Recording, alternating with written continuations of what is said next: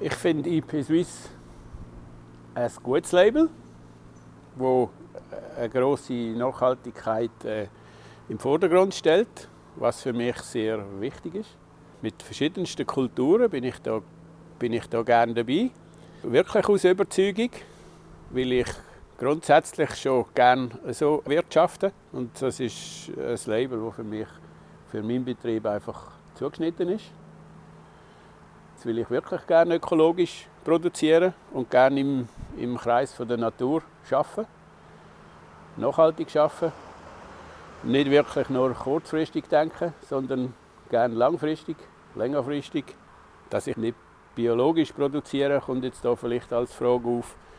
Äh, das ist der Hauptgrund, ist effektiv die Heidelbeeranlage, wo eigentlich nur Qualität äh, wirklich gut absetzbar ist in der Menge, die man da produziert. Das ist bei mir äh, vieles ein bisschen aus dem Beobachten entstanden. Ich sage auch aus dem Beruf als Bauer, so wie ich sehe, wie es eigentlich so sollte sein, wie man sich verbunden fühlt mit der Natur, mit allem. Und darum ist für mich wie klar, eine Vielfältigkeit im Boden setzt eine Vielfältigkeit von Pflanzen voraus.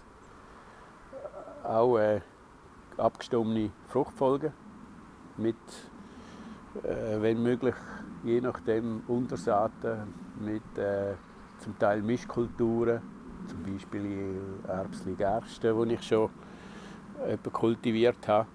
Äh, einfach Vielfältigkeit auf breitester Front, das ist für mich Biodiversität. Ich habe noch nicht langjährige Erfahrung. Ich habe jetzt ein gutes Jahr. Aber letztes Jahr sehr viel mit dem gefahren. Mein Vierscharpflug habe ich seitdem nicht mehr gross gebraucht. Äh, ich sehe einfach schon länger für die Bewirtschaftungsweise, die ich anstrebe, für die Nachhaltigkeit, für die Bodenstruktur, ist einfach eine tiefe Bearbeitung nicht wirklich förderlich so tief, wie man bearbeitet, muss man auch laufend wieder verdichten, wenn das Wetter nicht stimmt bei der Ernte etc. Und darum ist das für mich eine Maschine, die ich schon lange beobachtet habe. Und letztes Jahr durch den Traktorwechsel hat sich da genau angeboten. Jetzt ist der Moment, um einen angepassten Schellpflug zu kaufen, der auch eine schöne Breite hat, wie bald wie ein Grupper, den ich mit einer rechten Leistung bearbeiten kann. Äh, ich habe gerne eine Vielfalt der Kulturen als, als erstes Mal. Aus dem Gedanken heraus, dass ich nicht extrem gebunden bin an eine steife Fruchtfolge, dass ich beweglich bleibe.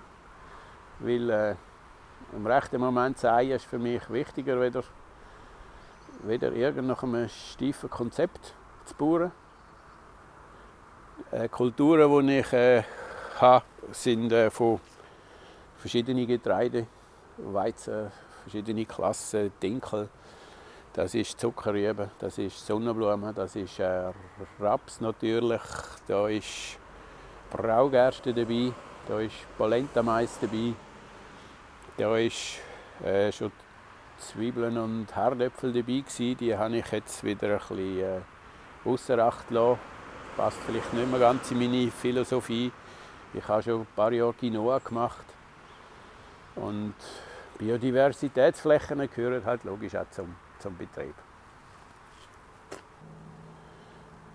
Meine Philosophie äh, dazu ist irgendwie ganz klar, Natur sagt mir, wie sie es gerne hat. Das Bauchgefühl sagt mir, wo es eventuell noch mal Sinn macht. Oder schlussendlich auch, wir sind ja Unternehmer. Wir denken unternehmerisch. Wir wollen eine gewisse äh, Wirtschaftlichkeit.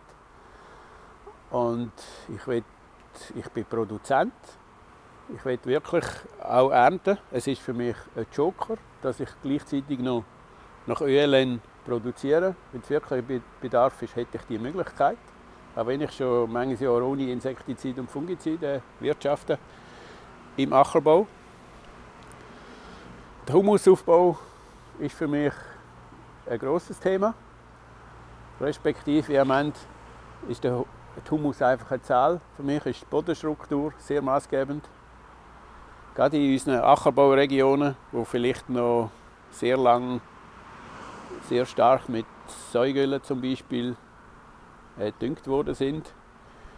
Äh, rein vom System her und vom Stand der Zeit hat sich das so ergeben. Ist auch gut hier. Aber dass man heute ein bisschen angepasster wirtschaftet, finde ich äh, positiv, kommt ganz klar am Humusaufbau zu gut. Und da gehören verschiedenste Faktoren dazu. Humusaufbau ist für mich Reduktion von synthetischen Pflanzenschutzmitteln, Reduktion von zu hohen mineralischen Düngergaben, eine gescheit eingesetzte Masch äh, maschinelle Bearbeitung, möglichst schonende Bearbeitung, nicht zu tief, grossen Wert auf das Gewicht respektive Bodendruck legen.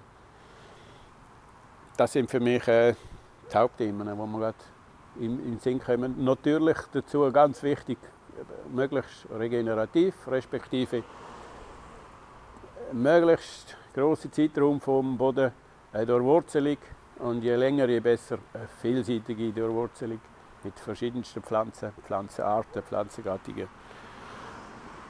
Futter für die Breitfront vom Leben im Boden.